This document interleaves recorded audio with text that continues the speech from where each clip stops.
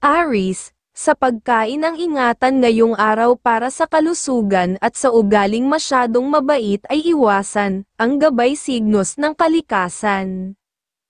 Taurus, maging masinop sa pera at iwasan ang makipagbiruan, ang gabay signos ng kalikasan. Gemini, sa mga hayop ang pag-ingatan at sa mga kausap na malaswa magsalita, at iwasan ang pamamasyal paggabi na, ang gabay signos ng kalikasan. Cancer, pera ay maging masinop madaming gustong dumikit sa iyo na magaganda ang sinasabi, dahil hihiraman ka lang ng pera, ang gabay signos ng kalikasan. Leo, pag-iingat kung nasa trabaho huwag basta gagawa ng pagtulong para walang maging suliranin, at may malakas kang sex appeal ngayong araw, nalapitin ka ng mga gumagawa ng tukso sa pag-ibig, kaya dapat ay lagi kang maging maingat, ang gabay signos ng kalikasan. Virgo, iwasan muna ang tao na alam mong mahilig lang sa chismis, dahil baka mawalan ka ng swerte kung matagal mong makakausap, ang gabay signos ng kalikasan. Libra, Huwag masyadong makisama muna sa kaibigan, at huwag masyadong mapagbigay ikaw din ang mawawalan ng pera, ang gabay signos ng kalikasan.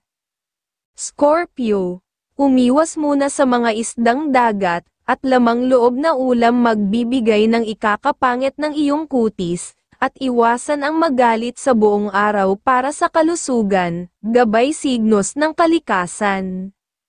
Sagittarius, sa pag-inom ng alak at pagpupuyat ang dapat iwasan para sa kalusugan, at huwag magagalit para sa kalusugan pa rin, at may malakas kang sex appeal ngayong araw, nalapitin ka ng mga gumagawa ng tukso sa pag-ibig, kaya dapat ay lagi kang maging maingat, gabay signos ng kalikasan.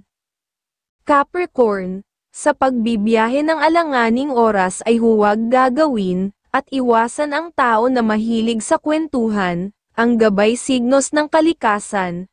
Aquarius, iwasan ang tao na mahilig sa usapan na maling pag-iibigan, at lumayo sa mga maiinit na bagay tulad ng apoy o mga machines, ang gabay signos ng kalikasan. Pisces, mag-ingat sa dalawa ang gulong na sasakyan at makisama sa mga dating kaibigan baka mautangan ng pera na wala ng makakabayad, ang gabay signos ng kalikasan.